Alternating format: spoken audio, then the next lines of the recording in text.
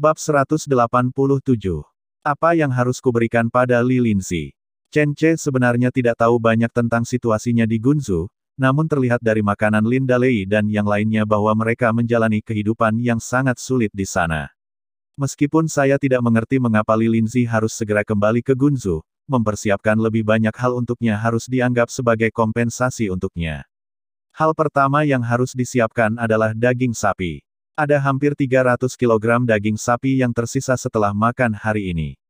Jumlah daging sapi ini tidak berarti apa-apa bagi Chen Che, jadi dia memberikannya langsung kepada mereka.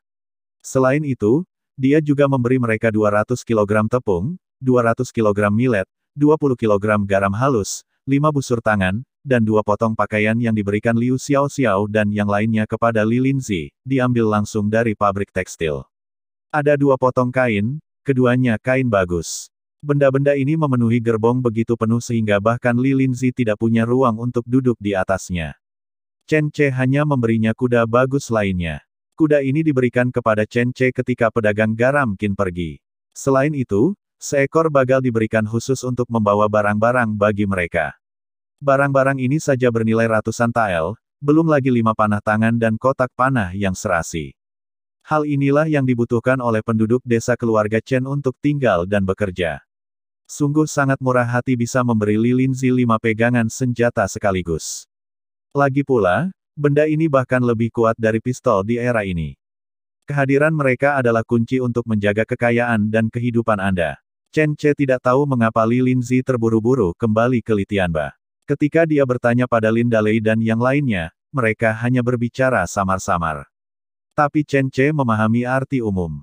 Mereka membangun bendungan di sisi bendungan Litian. Mereka menghadapi perlawanan besar dan bahkan bahaya. Itu sebabnya Chen Che melindungi mereka. Melihat tumpukan barang besar dan kecil, Li Linzi menggigit bibir merahnya dengan lembut, lalu mengangguk ke Chen Che, dan pergi dengan anggun. Chen Che berdiri di pintu masuk desa dan menyaksikan sosok mereka menghilang, dan suasana hatinya berangsur-angsur menjadi rumit. Karena kamu tidak tega berpisah dengannya, kamu tidak boleh melepaskannya. Suamiku, kenapa kamu tidak cepat merebutnya kembali sekarang? Bendungan macam apa yang akan dia bangun? Apakah sepenting itu? Tiga wanita berlari untuk ikut bersenang-senang, Luo Sanshan bahkan lebih enggan membiarkan Li Linzi pergi. Bagi Luo Sanshan yang menyukai wanita cantik, dia sangat enggan meninggalkan Li Linzi. Ini mungkin sangat penting baginya. Lupakan saja, biarkan dia pergi. Setelah beberapa saat, setelah aku menyelesaikan semuanya, kita akan pergi ke Gunzu untuk membawanya kembali untuk tahun baru. Usulan ini membuat Luo Sanshan bersemangat dan dia terus berteriak, ya. Sekarang, Chen Che mulai memiliki lebih banyak hal untuk dilakukan. Yang pertama dan terpenting adalah pembukaan akademi. Tuan-tuan dari akademi semuanya akan segera hadir, dan pasti akan ada tiga atau lima orang sebelum tahun baru dimulai, pendaftaran akan segera dimulai. Sekolah tersebut belum dibangun dengan baik, sehingga jadwal pembangunannya sangat padat. Tong Silang sekarang mengawasi lokasi pembangunan setiap hari dan bertanggung jawab atas situasi keseluruhan. Namun ia masih anak-anak dan belum memiliki keterampilan sama sekali. Meski beberapa orang bisa direkrut dari kalangan pelajar untuk magang, namun tetap perlu ada yang bertanggung jawab. Hal lainnya adalah Chen Che berencana membuka restoran. Tentu saja, yang pertama diuji adalah kota Siniu. Pertama, ada banyak orang di kota Siniu, dan kedua, udang karang di sini adalah yang terbaik untuk ditangkap. Sekarang dia sedang menciptakan momentum dan membuka restoran ini sebelum tahun baru, menciptakan gelombang bonus diskon restoran. Chen Che tidak tahu banyak tentang pembukaan restoran, tapi dia tahu pemasaran. Di mata orang lain, udang karang adalah kumbang merah, makhluk buruk yang menggigit manusia. Namun selama pemasarannya dilakukan, tentu saja akan menjadi favorit baru masyarakat dinasti Zhou. Meskipun Li Linzi telah pergi, semangat yang dia bawa ke Chen Che belum pernah terjadi sebelumnya. Hal ini juga membuat Chen Che menantikannya, dan di saat yang sama, dia semakin penasaran dengan istri tertua legendaris lainnya. Chen Che tidak ingat dia sama halnya seperti Li Linzi, tapi dia memiliki kesan yang lebih dalam terhadap wanita ini. Setidaknya, dia ingat namanya. Chu Lianyi. Nama yang sangat bagus, tapi Chen Che tidak dapat lagi mengingat penampilan, kepribadian, dan lain-lain. Tidak banyak kenangan yang tersisa dari pendahulunya. Bukan saja bajingan ini bukan manusia, dia juga tidak pernah melakukan hal baik apa pun. Hal lain yang tidak pernah diketahui oleh Chen Che adalah bahwa masing-masing dari lima istri lebih cantik dari yang terakhir, dan sosoknya bahkan lebih baik dari yang terakhir, tetapi bajingan pendahulunya tidak pernah menyentuh satupun dari mereka. Meskipun ini sangat menguntungkan bagi Chen Che, masalah ini adalah rintangan yang tidak dapat diatasi oleh Chen Che. Di jalan resmi dari Kabupaten Rongdong menuju Gunzu Litianba, Lilinzi menunggangi kuda merah marun yang dipersembahkan oleh Chen Che di garis depan. Kecepatan mereka tidak terlalu cepat atau terlalu lambat, dan mereka masih bisa sambil mengobrol di jalan. Kakak, Chen Che ini tidak terlihat seperti orang jahat. Lihat, kita semua akan pergi dan dia benar-benar memberi kita banyak hal, teriak Mo Xiaoyu keras. Betapa dia membenci Chen Che sebelumnya dan betapa dia ingin mencabik-cabiknya, sekarang betapa dia ingin membelanya. Ya, ya, kakak perempuan tertua, apakah ada kesalahpahaman di antara kalian berdua? Menurutku dia juga seorang pemuda yang hebat, dan dia masih layak untukmu, kakak perempuan tertua. Dia tampan, kaya dan murah hati, dan dia masih memiliki perasaan terhadap kakak perempuanku yang tertua. Mengapa kamu tidak menjalani kehidupan yang baik bersamanya, kakak perempuan tertua, dan jangan mengarungi air berlumpur di bendungan Litian? Lilinzi hanya bisa menggelengkan kepalanya setelah mendengarkan kata-kata bawahannya, ada pepatah mengatakan bahwa setiap orang memiliki ambisinya masing-masing. Jika sebelumnya dikatakan bahwa pergi ke bendungan Litian adalah pilihan terakhir, tapi sekarang, tidakkah kalian tahu arti kepergianku? Bendungan Litian tidak akan diperbaiki. Jika bukan kita yang membangunnya, jutaan orang di tiga negara bagian dan empat prefektur akan menghadapi bencana alam setiap tahun, dan bendungan ini tidak dapat lagi dikendalikan oleh kasih sayang. Semua orang terdiam, dan pada saat yang sama kekaguman mereka terhadap Li Linzi menjadi semakin kuat. Dia seorang wanita, jadi dia jelas bisa memiliki kehidupan yang lebih baik, dan dia bisa kembali dan menjadi istri kaya bersama Chen Che. Dia tidak punya pilihan sebelumnya, tapi sekarang, dia masih tidak tergerak oleh kekayaan ini. Dia menyerah pada Chen Che tanpa ragu-ragu, berbalik dan melemparkan dirinya ke dalam kantong lumpur Litianba. Dan alasan mengapa dia melakukan ini hanya untuk kebahagiaan orang-orang. Sentimen mulia ini adalah kekuatan pendorong nyata yang harus diikuti semua orang. Musim gugur semakin kuat. Hari sudah hampir malam ketika mereka kembali ke Litianba. Kam itu sunyi, dan tidak ada yang merasa ada yang tidak beres, tetapi Lilinzi tiba-tiba mengekang kudanya. Ada yang tidak beres. Lilinzi mengerutkan kening, semuanya, hati-hati. Kak, ada apa? Lin Dalei mengeluarkan parangnya dan melindunginya. Agak terlalu sepi. Biasanya saat ini, memasak sudah dilakukan di kam, kan? Kenapa kita tidak mendengar siapa pun atau melihat asap hari ini? Li Linzi melihat sekeliling. Dia mengenal kam itu dengan baik, tapi sekarang dia merasakan sedikit niat membunuh. Mungkinkah mereka malas? Lin Dalei bertanya dengan gugup. Entah benar atau tidak, hati-hatilah. Dalei, Bisakah kamu menggunakan busur tangan yang diberikan oleh Chen Che? Adapun pengaturannya, kuharap itu tidak akan digunakan. Li Linzi memberi perintah, dan Lin Dalei dengan penuh semangat meminta seseorang untuk memperlengkapi mereka.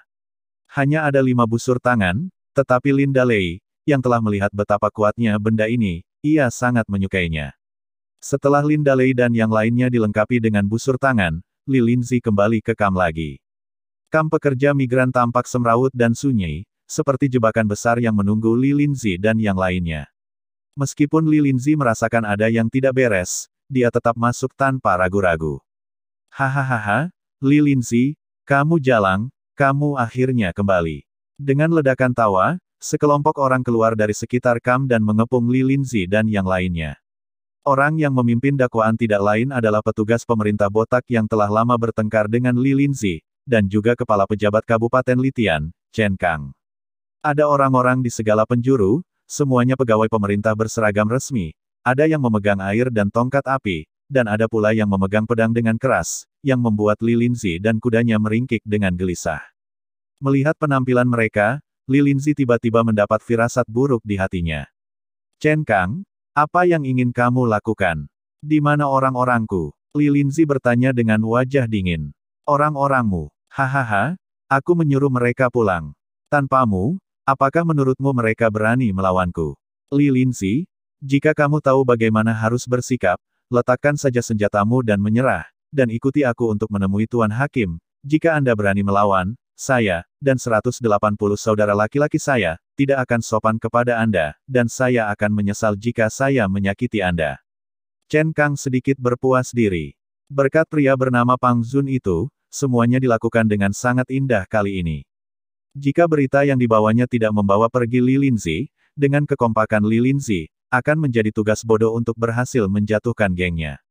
Tentu saja para pekerja tidak benar-benar diusir. Jika mereka diusir, siapa yang akan melakukan pekerjaan di lokasi konstruksi? Tanpa mereka bekerja keras di sini, bagaimana kita bisa membuktikan bahwa proyek tersebut masih berjalan?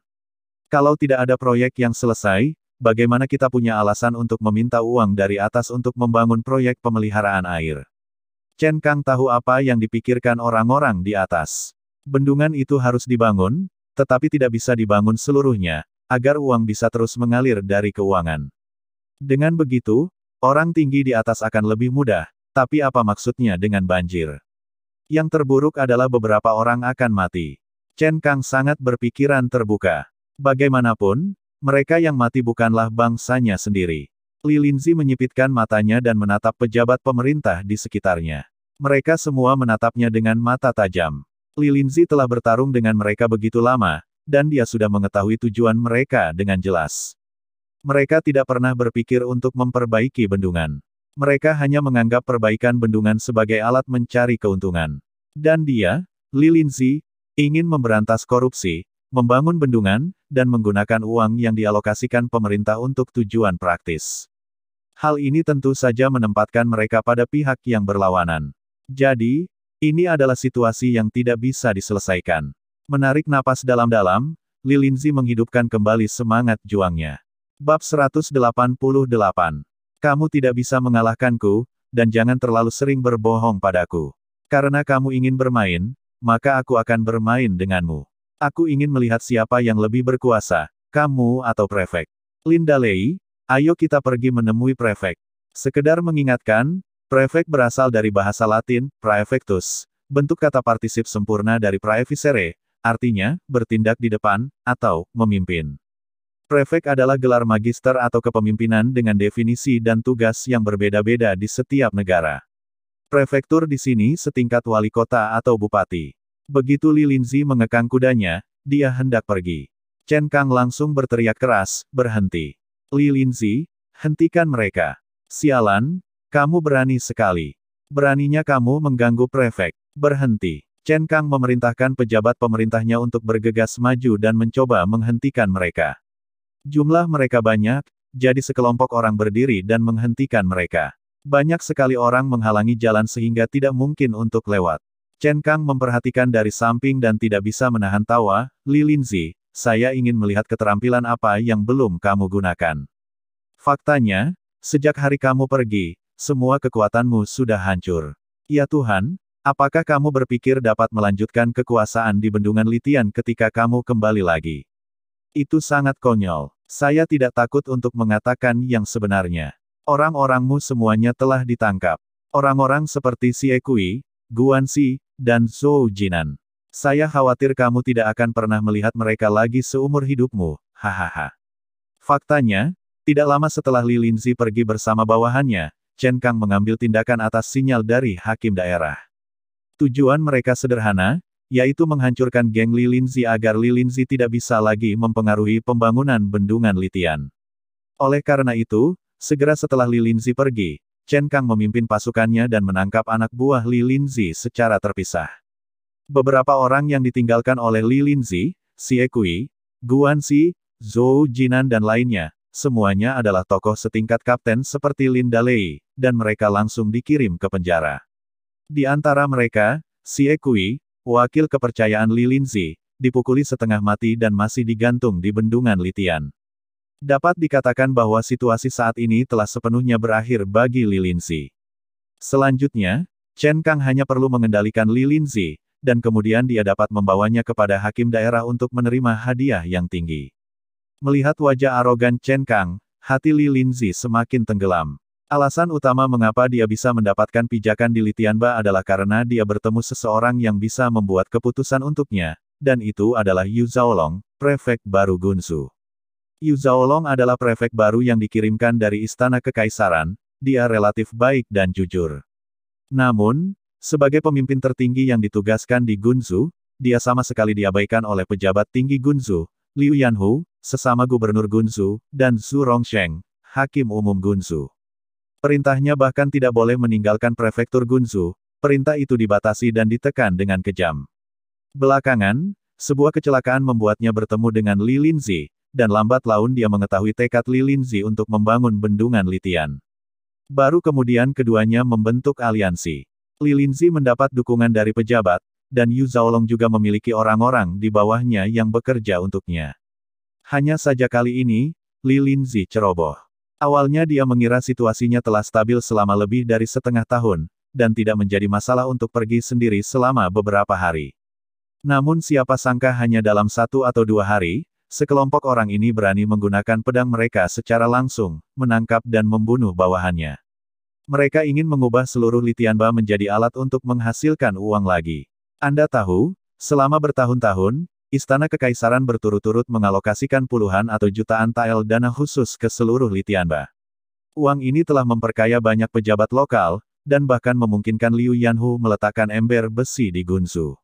Dia melatih para prajurit dari tiga batalion Gunzu menjadi prajurit pribadinya, dan menjalani kehidupan sebagai kaisar setempat. Mereka yang diangkat menjadi prefek semuanya dimutasi karena berbagai alasan, atau meninggal saat menjabat. Para hakim dari tiga kabupaten di Gunzu menganggap Liu Yanhu, sesama hakim, sebagai raja mereka. Bahkan ada pepatah gaul di Gunzu bahwa, hakim yang sama adalah raja, dan hakim berbeda tidak akan beruntung. Alasan mengapa Liu Yanhu begitu sombong adalah, selain fakta bahwa dia memiliki orang-orang di ibu kota, alasan yang lebih penting adalah dia telah berada di Gunzu selama lebih dari 30 tahun dan telah membuka semua sambungan di Gunzu. Dia ada di mana-mana. Orang harus melalui dia dalam segala aspek. Bawahannya terutama bertanggung jawab atas biji-bijian, garam, biji besi, transportasi sungai, pemeliharaan air sungai, dan lain-lain. Di Gunzu, semuanya adalah proyek besar yang menghasilkan uang. Belum lagi dia juga memiliki proyek Litianba yang bisa mendatangkan banyak uang. Dalam beberapa tahun terakhir, hubungan baiknya dengan ibu kota telah membantunya mendapatkan jutaan tael keuntungan dari pengadilan. Bahkan jika uang itu tidak terwujud, mereka masih punya cara untuk menghindarinya atau mencari seseorang untuk dijadikan kambing hitam. Singkatnya, lingkungan dinasti Zhou yang korup saat ini telah menciptakan kesombongan mereka. Demikian pula, kesombongan dan korupsi mereka yang membuat dinasti Zhou compang-camping dan membuat negara ini penuh lubang. Li Linzi menarik napas dalam-dalam dan dengan cepat mengetahui risiko di balik masalah ini. Dia tahu tujuan orang-orang ini dan apa yang mereka takuti. Pertama, mereka takut Li Linzi dan bawahannya akan bersatu kembali, selama mereka memiliki tenaga, mereka akan memiliki kekuatan, dan kemudian para pejabat ini hanya bisa menatap kosong lagi. Hal kedua yang mereka takuti adalah prefek Yu Zhaolong. Meskipun Yu Zhaolong sangat ditahan oleh rekan-rekannya Liu Yanhu dan Tongjian Zurongsheng, Yu Zhaolong tidak berdaya untuk melawan. Ketika dia mengudara, dia datang dengan tentaranya sendiri, tetapi jumlahnya terbatas. Selama setahun terakhir ini, dia juga telah berkembang, dan dia juga memiliki 110 pengawal pribadi. Meskipun dia tidak bisa dibandingkan dengan kekuatan Liu Yanhu, dia tidak bisa dianggap remeh, terutama ketika dia bergabung dengan kekuatan Lilinzi. Namun kini, vitalitas Lilinzi telah terpecah dan diserang oleh mereka. Situasi tiba-tiba menjadi sangat sulit, apalagi sekarang Li Linzi dan yang lainnya hanya memiliki sekitar 10 orang, sedangkan pihak lain memiliki ratusan orang. Dengan kekuatan 10 kali lipat dari pihak kita sendiri, perbedaan antara musuh dan diri kita sendiri sangat besar. Pertempuran ini telah diputuskan apakah Li Linzi atau yang lain akan menang atau kalah bahkan sebelum dimulai. Dalam pertempuran tersebut, Li Linzi, Linda Lei dan lainnya benar-benar menderita kerugian besar. Mereka bergegas ke kiri dan ke kanan, berusaha berjuang untuk keluar dari kerumunan. Namun musuhnya terlalu banyak. Lin Dalei memegang parang dan telah melukai beberapa orang selama konflik. Dalam pertarungan normal dengan senjata, pria galak seperti Lin Dalei biasanya tidak bisa dihentikan, tapi hari ini, mereka yang terluka akan segera diganti.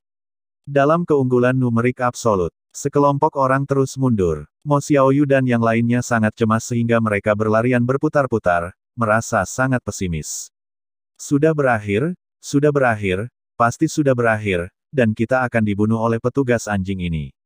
Jika kita tahu ini masalahnya, kita seharusnya tetap tinggal di desa Chenjia dan tidak kembali. Saat ini, setiap orang memiliki pemikiran yang sama. Hanya Lilinzi yang masih tidak yakin, dengan sepasang mata cerah melihat sekeliling, mencoba mencari terobosan. Hahaha, lihat ke mana kamu pergi. Anak-anak, cepat ambil kereta mereka dulu. Sepertinya itu sangat berharga. Seharusnya ada banyak barang bagus yang tersembunyi di dalamnya, kata Chen Kang dengan bangga kepada anak buahnya bahwa mereka bisa mulai merampok sesuka hati. Tidak, jangan sentuh gerbong kami. Itu hadiah dari Tuan Chen. Lin Dalei sangat marah, meraung dan bergegas kembali ke gerbong, dan menikam seorang pegawai pemerintah yang naik ke gerbong dengan pisau. Langkah ini tidak membuat para pejabat pemerintah takut untuk angkat bicara, namun malah membuat mata mereka berbinar. Hadiah dari orang lain. Kalau begitu, yang lebih penting lagi adalah merampoknya. Haha, keluar dari sini. Kereta ini milik kita sekarang. Para pejabat pemerintah sangat gembira dan bergegas maju, mencoba merebut kereta itu. Namun di luar dugaan, ada sosok yang lebih cepat dari mereka saat ini. Itu adalah Li Linzi. Terlihat sosok kuatnya melompat langsung dari kudanya dan mendarat ke atas kereta. Para pejabat tidak terkejut tapi senang. Li Linzi, apakah kamu sudah menyerah? Kamu sedang menjebak dirimu sendiri. Bagus, bunuh, tangkap Li Linzi hidup-hidup, dan kepung kereta. Bagi mereka, nilai Li Linzi jauh lebih besar daripada nilai sebuah kereta. Bagaimanapun, Tuan Liu telah mengucapkan kata-kata yang kejam. Siapa pun yang dapat mengirim Li Linzi ke tempat tidurnya akan diberi hadiah seribu tael perak. Dulu, ketika Li Linzi berkuasa, dia dirawat oleh prefek dan dua hingga tiga ratus pekerja migran di bawah komandonya yang berani melawan dan menuntut, sehingga tidak ada yang berani menyentuhnya. Tapi segalanya berbeda sekarang. Sekarang Li Linzi memiliki beberapa orang ini, bukankah ini waktu terbaik untuk menangkapnya dan menerima hadiahnya? Kedua pejabat pemerintah itu berlari paling cepat dan paling kejam. Tepat ketika mereka hendak meraih kaki Lilinzi yang memikat, mereka tiba-tiba melihat Lilinzi mengeluarkan panah yang tampak aneh dari kereta. Benda ini tampak seperti anak panah tetapi bukan anak panah, dan terlihat seperti busur tetapi bukan busur. Kelihatannya sangat aneh. Tapi Lilinzi mengarahkannya ke arah dua pejabat pemerintah yang mendekat, dan menembakkan dua anak panah. Anak panah tersebut berjarak kurang dari 2 meter dan langsung mengenai kepala kedua pejabat pemerintah tersebut. Anak panah tajam tersebut langsung menembus kulit mereka dan menancap di tulang mereka. Kedua pria yang begitu bersemangat tadi langsung jatuh ke tanah, tubuh mereka menegang, dan tidak ada kemungkinan untuk bangun lagi. Li Linzi sendiri juga menghirup udara dingin. Rupanya, dia tidak menyadari bahwa mainan kecil yang diberikan oleh Chen Che sebelum pergi sebenarnya sangat kuat. Bersambung ke bab selanjutnya.